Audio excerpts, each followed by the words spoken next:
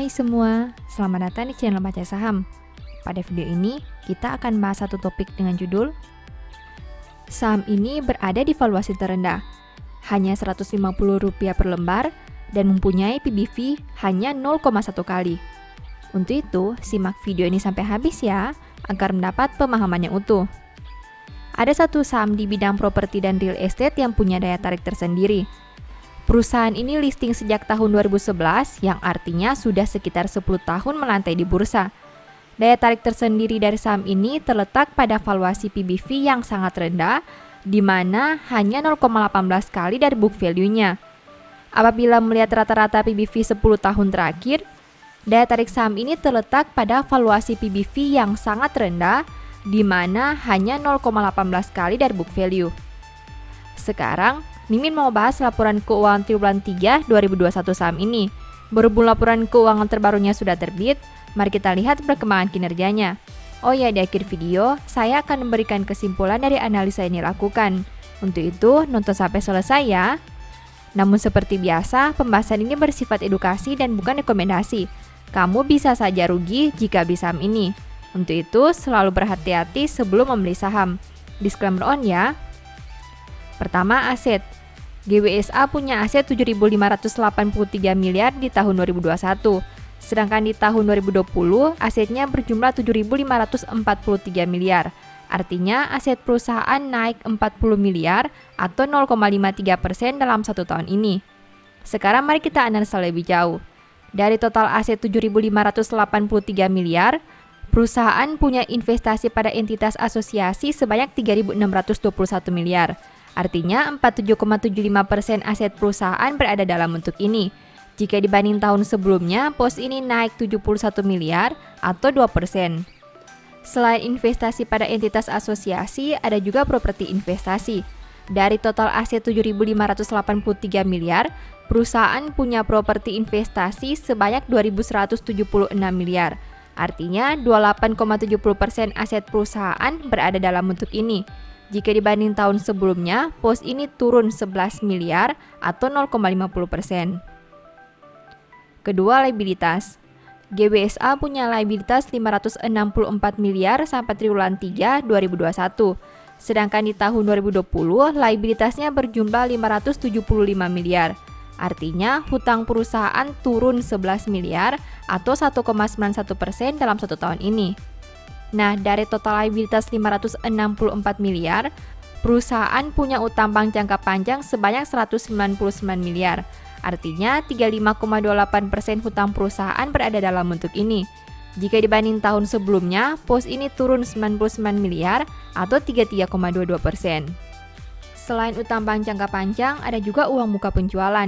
Dari total liabilitas 564 miliar, perusahaan punya uang muka penjualan sebanyak 153,92 miliar. Artinya 27,29% total hutang perusahaan berada dalam bentuk ini.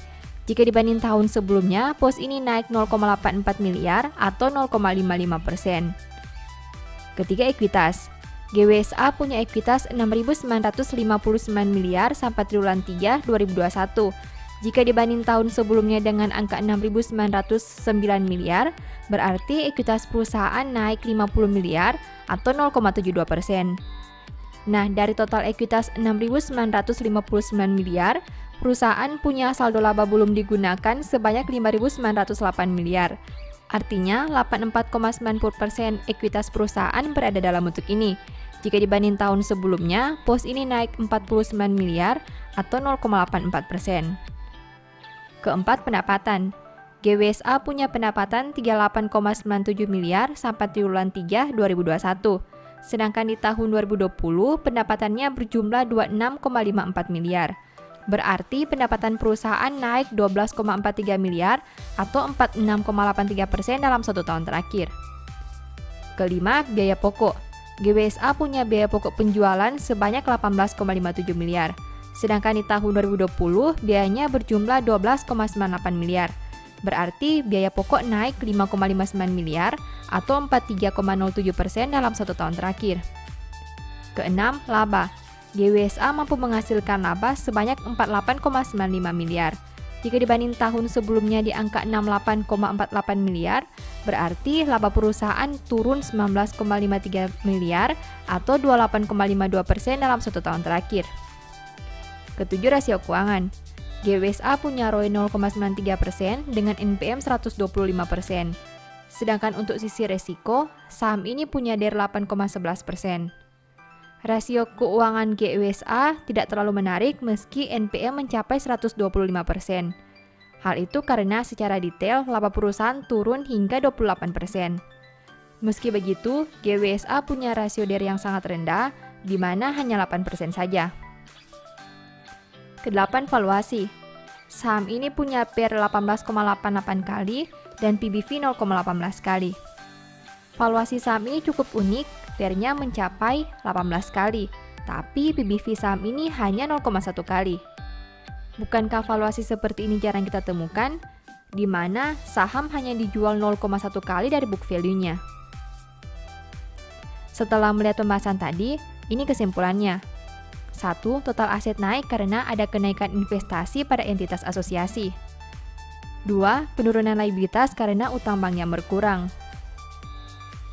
3. Ekuitas naik karena saldo laba yang bertambah. 4.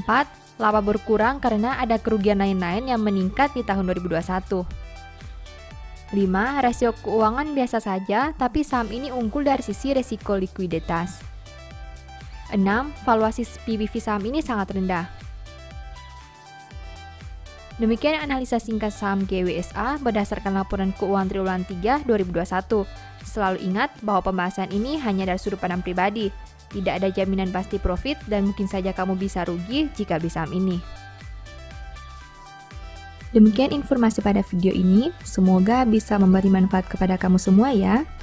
Oh iya, saya mau menyampaikan bahwa sekarang Baca Saham punya 3 ebook tentang saham yang mungkin saja bisa berguna bagi kamu, yaitu strategi nabung saham, analis report, dan the stock market. Berikut perbedaan antara tiga e-book tersebut.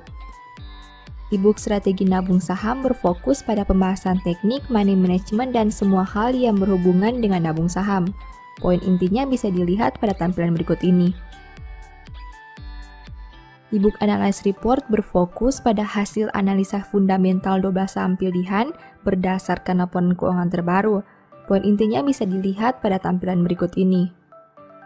E-book Stock Market berfokus pada panduan bagaimana menganalisa fundamental suatu perusahaan dan money management yang baik. Poin intinya bisa dilihat pada tampilan berikut ini. Apabila kamu tertarik membeli salah satu dari tiga e-book tadi, silakan chat WA ke nomor yang tertera di layar ya. Ingat, hati-hati terhadap semua jenis penipuan yang mengatasnamakan baca saham.